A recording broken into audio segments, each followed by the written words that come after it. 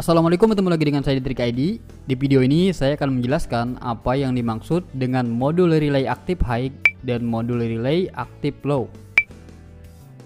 Modul relay dengan aktif high artinya modul relay hanya akan aktif jika diberi input high. Dan modul relay dengan aktif low artinya modul relay hanya akan aktif jika diberi input low. Diketahui masing-masing relay ini mempunyai tiga pin, yaitu pin DC+, untuk masukkan tegangan positif. Kita juga bisa menyebut pin DC+ sebagai pin PCC. Berapa nilai tegangan positif yang diminta pin DC+?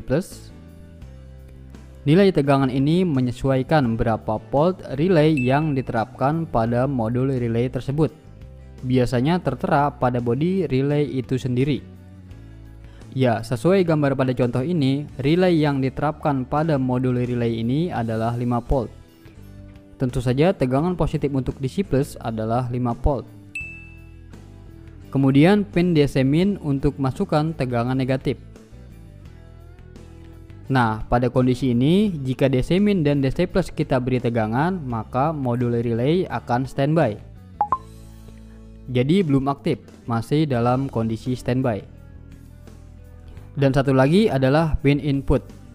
Nah, kita perlu memberikan input ini sesuai dengan apa yang diminta si modul relay. Apakah high atau low? Modul relay aktif high akan beralih dari standby menjadi aktif jika inputnya diberi high. Dan modul relay aktif low akan beralih dari standby menjadi aktif jika inputnya diberi low. Pertanyaannya, dari mana kita bisa memberikan sebuah high maupun low pada input modul? Dalam elektronika, high diwakili angka 1, mewakili tegangan positif. Bisa juga disebut tegangan yang berada pada atau mendekati PCC. Dan low diwakili dengan angka 0, mewakili tegangan negatif atau tegangan mencapai 0. Nah, jadi input aktif high memerlukan tegangan yang berada pada atau mendekati PCC agar aktif. Dan input aktif low memerlukan tegangan mencapai 0 agar aktif. Jika itu sebuah input, maka tentu saja ada output sebagai lawannya. Maka dari itu, kita memerlukan sebuah rangkaian yang memiliki output untuk mensuplai pin input pada modul relay. Yang paling sederhana kita bisa menggunakan sebuah tactile switch yang dikombinasikan dengan sebuah resistor. Penerapan resistor ini akan mempengaruhi output yang dikeluarkan oleh kombinasi ini. Resistor yang diterapkan di bawah atau dekat dengan ground dinamakan resistor pull down switch. Saat switch ditekan, output akan mengeluarkan high. Tentu saja ini cocok untuk mengaktifkan modul relay aktif high.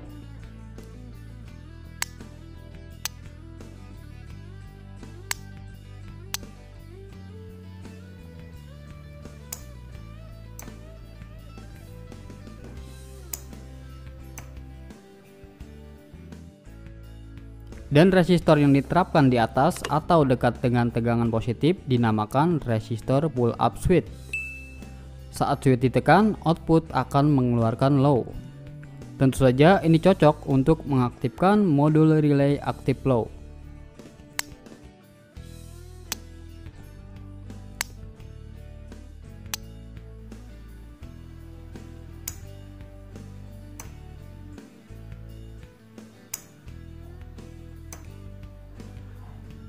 Nilai resistor pull up maupun pull down tipikalnya adalah 4,7 kilo ohm, tetapi dapat bervariasi tergantung pada aplikasinya. Untuk mempelajari lebih lanjut tentang resistor pull up maupun resistor pull down, teman-teman bisa mengunjungi kolom deskripsi. Baik itu saja pertemuan kali ini tentang apa maksud dari modul relay aktif high dan modul relay aktif low. Semoga bermanfaat. Ingat elektronika, ingat trik ID. Terima kasih. Assalamualaikum.